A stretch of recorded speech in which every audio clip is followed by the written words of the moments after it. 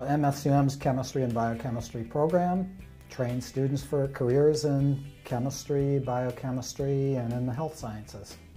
We get experience in a wide variety of types of chemistry. You're going to be taking classes in biochemistry, physical chemistry, analytical chemistry, inorganic chemistry, so you're going to get a wide experience uh, that'll really prepare you for your future.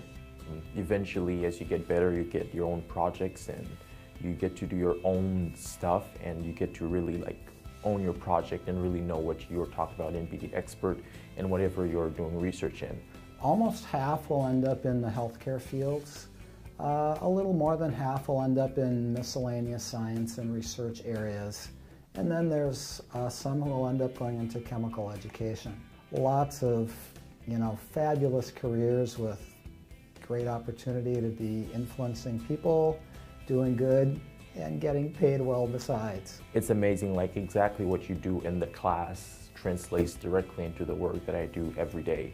So we've got the same advantages in terms of class size and individual attention as uh, private college at a much lower cost.